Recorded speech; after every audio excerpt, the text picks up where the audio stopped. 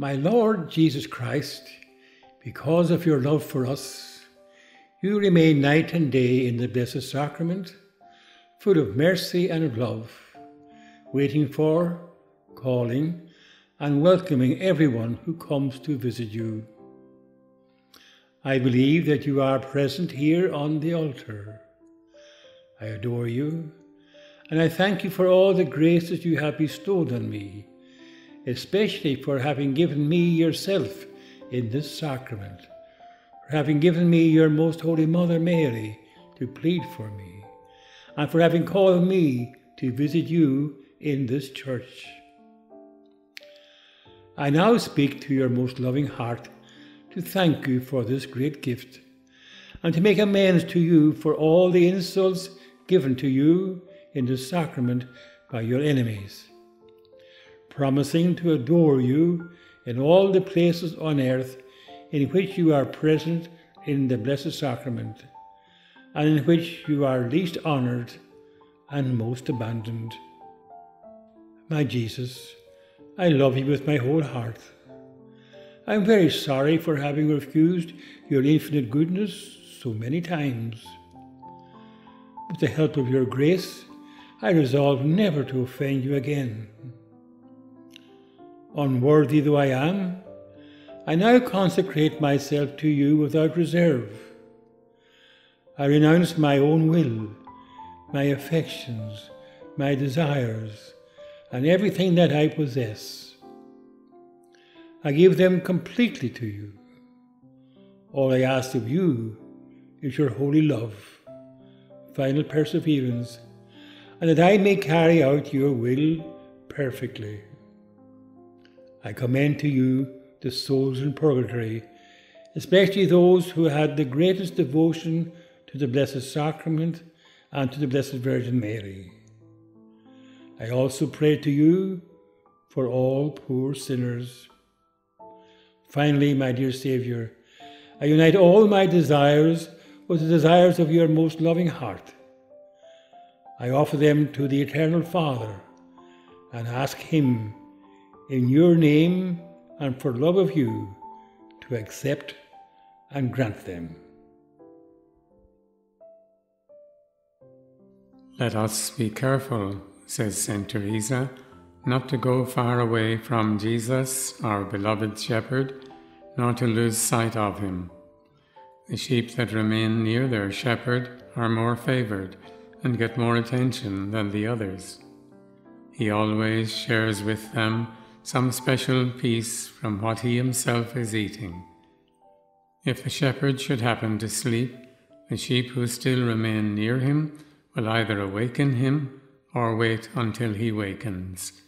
They are petted again and are given new favors.